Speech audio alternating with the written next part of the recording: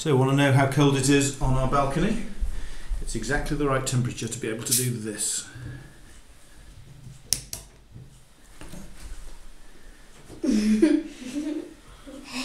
Es ist so kalt.